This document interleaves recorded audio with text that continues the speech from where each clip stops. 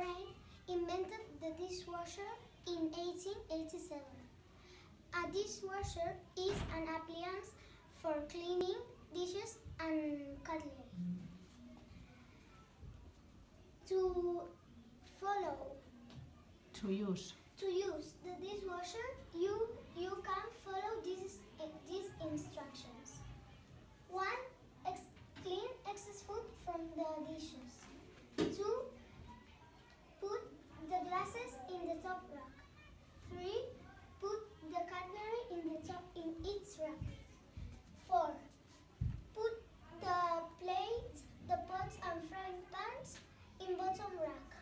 Three. Five. Five. Uh, put the, put detergent in in soap dispenser. Six. Close the door.